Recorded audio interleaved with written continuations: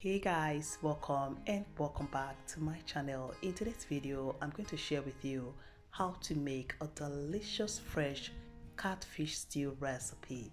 This right here is a bomb. So delicious and it's packed with so much flavor. So if you're interested, come with me and let's dive into it.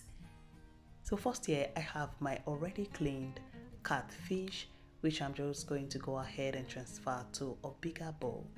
So to firm this fish and to prevent it from breaking while cooking, I'm going to add some boiled water. So just boil some water and add it to the fish. This will help firm the fish and prevent it from breaking inside your stew or your soup. So you're going to let this sit in the water for about one minute.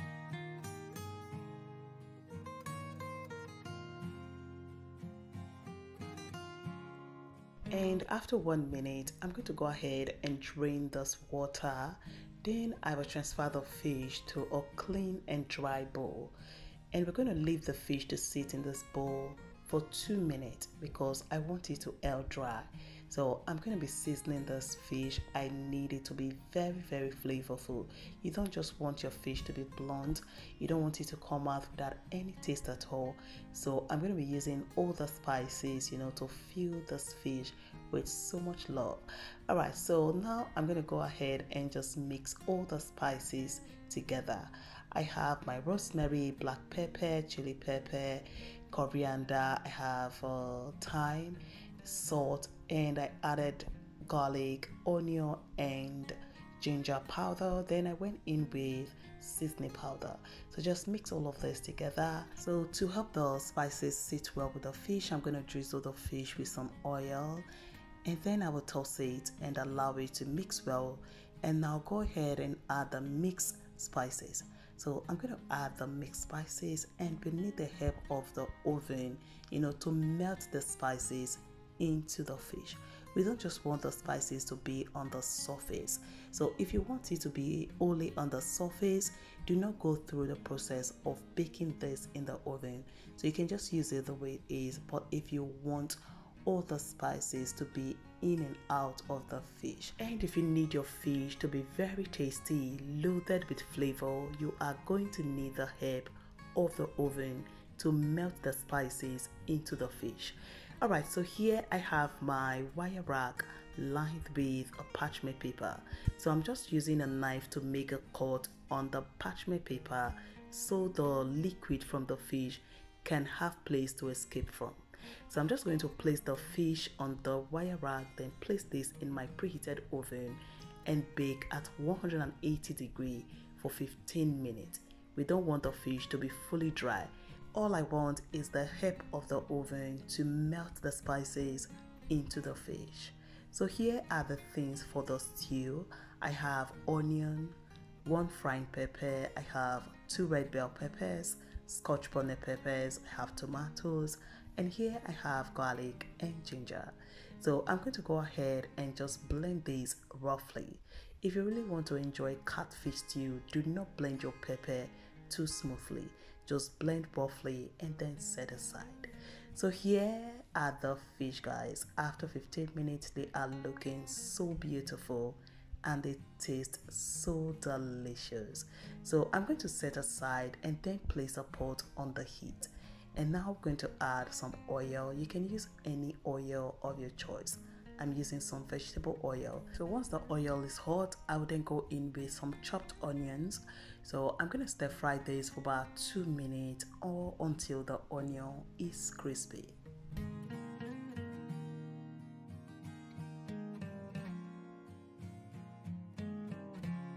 So after two minutes, for flavor, I'm going to be adding some thyme and curry powder.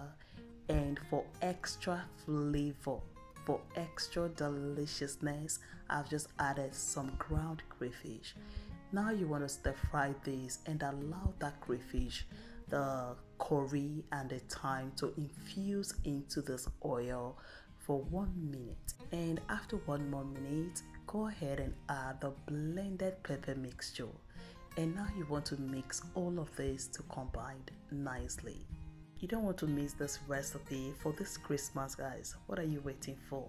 Try this recipe and guys the aroma is heavenly.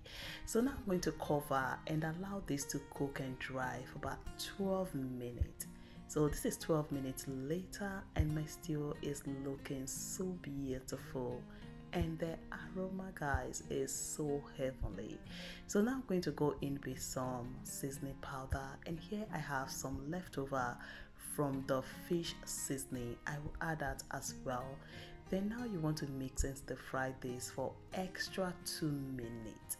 You want that seasoning and the spices to infuse into your stew and after two minutes guys the stew is ready. So now go ahead and add your fish.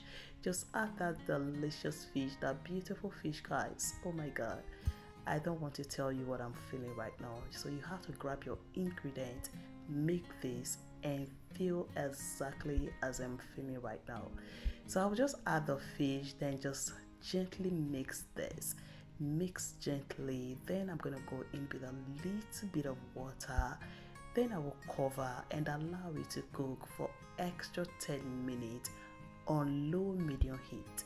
You don't want to overpressure the stew because you don't want the fish to scatter inside your stew. So that's another method to cook catfish. If you don't want to, you know, to steam it with hot water when you're cooking it, do not overpressure the heat. Otherwise, it will scatter. So just cook it on low medium heat and guys, after 10 minutes, our stew is ready. Looking so delicious, so flavorful. And the aroma, guys, oh my god, is something you need to try. Alright, so now go ahead and serve this. Enjoy with some white rice, yam, plantain, or dish it the way it is and enjoy. So, guys, I hope you enjoyed this recipe. If you did, Please don't forget to give me a thumbs up. Just click on the like button and to share with your friends and family. And please do subscribe to my channel if you have not subscribed yet. And click on the bell notification so you don't miss out on my videos.